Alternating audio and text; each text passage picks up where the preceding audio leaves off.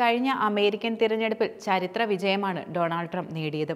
Donald Trump പ്രസിഡന്റായി അധികാരമേൽക്കുമ്പോൾ American ക്യാബിനറ്റിൽ നിർണായക മുഖമായി ലോകത്തെ ഒന്നാം നമ്പർ കോടീശ്വരനായ എലോൺ മസ്ക് വരുമെന്നതിൽ യാതൊരു സംശയവുമില്ല.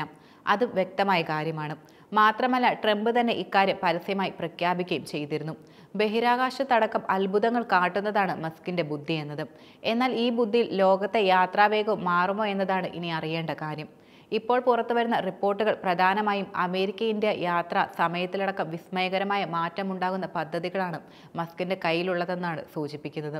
ഏറ്റവും ഒടുവിലായി പുറത്തു വരുന്നത് ഭൂഖണ്ഡങ്ങൾ തമ്മിലുള്ള യാത്രയ്ക്ക് അതിവേഗം പകരുന്ന മസ്കിന്റെ സ്റ്റാർഷിപ്പ് പദ്ധതിയെക്കുറിച്ചുള്ള വിവരങ്ങളാണ്. ട്രംപ് അധികാരത്തിലേറുകയും മസ്കിന് താക്കോൽ സ്ഥാനം ലഭിക്കുകയും ചെയ്താൽ പിന്നെ അനായാസം പദ്ധതി യാഥാർത്ഥ്യമാകുമെന്ന പ്രതീക്ഷയാണ് എക്സ് അടക്കമുള്ള വിവിധ സോഷ്യൽ മീഡിയ പ്ലാറ്റ്ഫോമുകളിൽ പലരും പങ്കുവയ്ക്കുന്ന പ്രധാന കാര്യം. മാത്രമല്ല ആയിരം യാത്രക്കാരെ വരെ വഹിക്കാൻ ശേഷിയുള്ള യാത്രാ സംവിധാനമാണ് മസ്കിന്റെ സ്റ്റാർഷിപ്പ് പ്ലാനിലുള്ളതെന്നും റിപ്പോർട്ടുകൾ സൂചിപ്പിക്കുന്നു. സ്റ്റാർഷിപ്പിന്റെ യാത്ര എന്നത് ഭൂമിയുടെ ഉപരിതലത്തിൽ സമാന്തരമായിട്ടാണ്.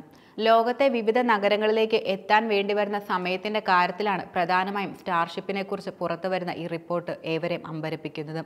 ലോസ് ആഞ്ചോൾസിൽ നിന്നും ടൊറന്റോ ടൊറന്റോയിൽ കേവലം ഇരുപത്തിനാല് മിനിറ്റിലാണ് എത്തുക. മാത്രമല്ല കേവലം ഇരുപത്തൊമ്പത് മിനിറ്റ് മാത്രമാകും ലണ്ടനിൽ നിന്നും ന്യൂയോർക്കിലേക്ക് എത്താൻ വേണ്ടി വരിക. ദില്ലിയിൽ നിന്നും സാൻ ഫ്രാൻസിസ്കോയിലേക്ക് മുപ്പത് മിനിറ്റിലും ന്യൂയോർക്കിൽ നിന്ന് ഷാങ്ഹായിലേക്ക് മുപ്പത്തൊമ്പത് മിനിറ്റിലും എത്താനാകുമെന്ന പ്രതീക്ഷയാണ് നിലനിൽക്കുന്നത്. ഈ പദ്ധതി യാഥാർത്ഥ്യമാക്കാനായി കാത്തിരിക്കുന്നുവെന്നാണ് സോഷ്യൽ മീഡിയയിൽ പലരും അഭിപ്രായപ്പെടുന്നതും.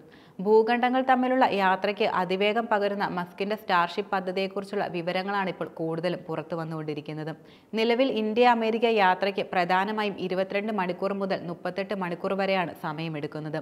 എന്നാൽ ഇത് കേവലം അരമണിക്കൂറിൽ സാധിക്കുന്ന തലത്തിലേക്കുള്ള പദ്ധതിയാണ് മസ്ക് ആവിഷ്കരിക്കുന്നതെന്നാണ് പ്രമുഖ അന്താരാഷ്ട്ര മാധ്യമങ്ങൾ റിപ്പോർട്ട് ചെയ്യുന്നത്. സ്പേസ് ട്രാവൽ പദ്ധതിയായ സ്പേസ് എക്സിനൊപ്പം സ്റ്റാർഷിപ്പ് എന്ന പേരിൽ അതിവേഗ യാത്രാ പദ്ധതി മസ്ക് വിഭാവനം ചെയ്യുന്നുണ്ടെന്ന് റിപ്പോർട്ടുകൾ സൂചിപ്പിക്കുന്നുണ്ട്.